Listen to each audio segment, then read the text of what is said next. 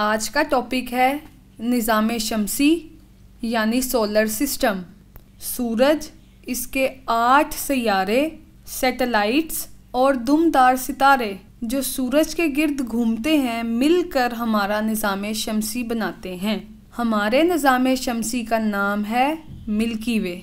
आइए बात करें सूरज, यानी सन की। हमारा सूरज एक दरमियाने दर्जे का सितारा है जो मुसलसल हरारत और रोशनी खारिज कर रहा है। ये ज़मीन से तकरीबन 110 गुना बड़ा है। सूरज की बैरूनी सतह का दर्जा हरारत पचपन हज़ार डिग्री सेंटीग्रेड है। सूरज के मरकजी हिस्से का दर्जा हरारत एक करोड़ पचास लाख है। सूरज पचहत्तर फ़ीसद हाइड्रोजन और 25 फ़ीसद हीलियम पर मुश्तमिल है।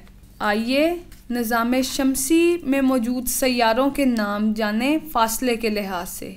अतारद, यानी मरकरी, जोहरा, यानी वीनस, ज़मीन, यानी अर्थ, मरीख, यानी मार्स, मुश्तरी, यानी जुपिटर, जोहल, यानी साटर्न, यूरेनस, नेपच्यून। आइए अतारद, यानी मरकरी के बारे में कुछ बात करते हैं। अतारद सूरज से सबसे करीबी स्यारा है, जिस पर कुरा फ़ज़ाई, यानी एटमॉस्फेयर और पानी तकरीबन नहीं है। अब बात करते हैं जोहरा, यानी वीनस की।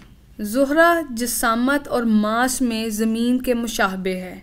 अब बात करेंगे ज़मीन, यानी अर्थ की। ज़मीन सूरज से दूर तीसरा सैारा है, जिस पर ज़िंदगी आबाद है। अब बात करते हैं मरीख, यानी मार्स की। सुर्ख रंगत की वजह से मरीख सुर्ख सैारा भी कहलाता है।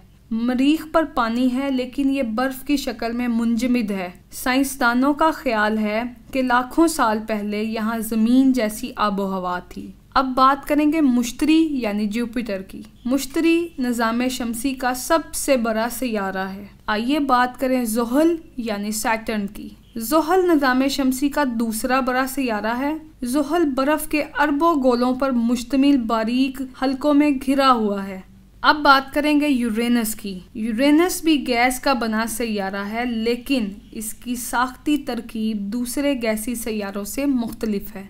अब हम बात करते हैं निज़ाम शमसी के आखिरी सैारे नेपच्यून की। नेपच्यून के मरकज़ी हिस्से में पिघली हुई चट्टाने हैं। इनके गिर्द पानी की बहुत ठंडी तह है।